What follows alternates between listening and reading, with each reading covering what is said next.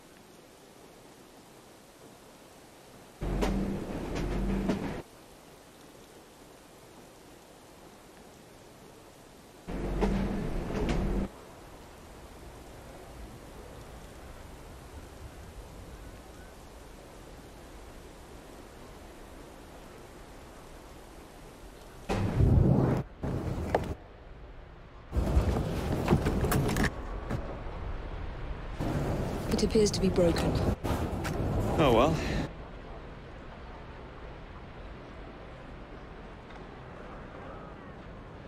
At least we have a train.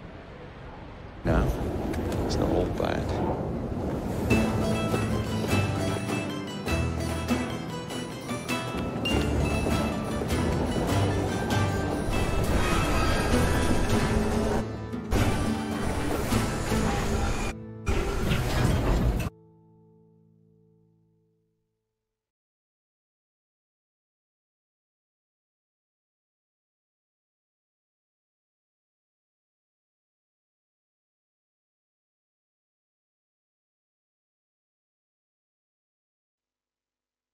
Ah, you bastard. I'd rather throw myself to the tracks than run Bertha another mile for that doty bag.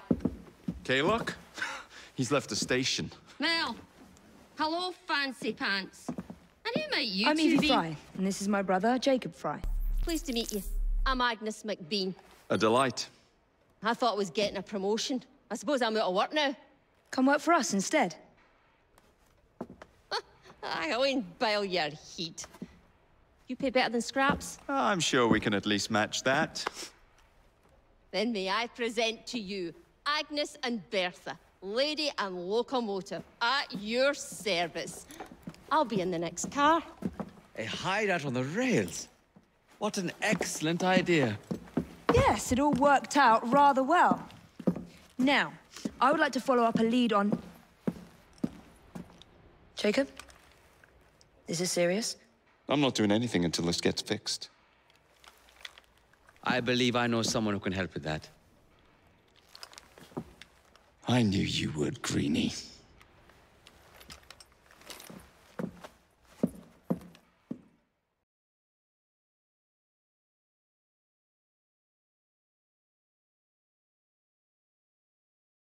Now, enough shop talk. Believe Mr. Green said there was someone he wanted you to meet.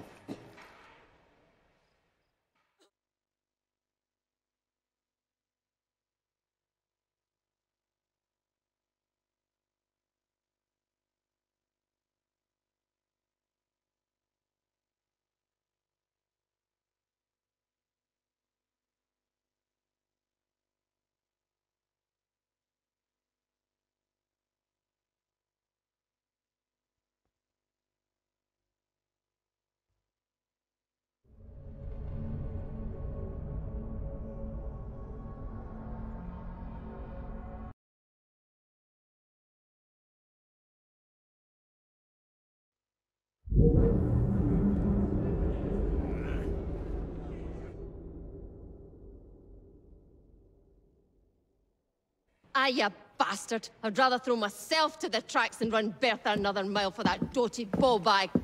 Kaylock? He's left the station. Mel. Hello, fancy pants. And who might you I'm Evie be? Frye, and this is my brother, Jacob Frye. Pleased to meet you. I'm Agnes MacBean. A delight. I thought I was getting a